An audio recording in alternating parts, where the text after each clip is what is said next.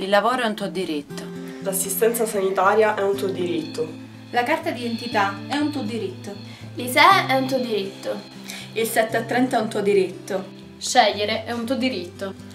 Non ti fare prendere in giro da chi ti fa credere che ti sta facendo un favore in cambio della tua libertà di voto. Il 24 e il 25 febbraio vota chi vuoi, ma vota liberamente.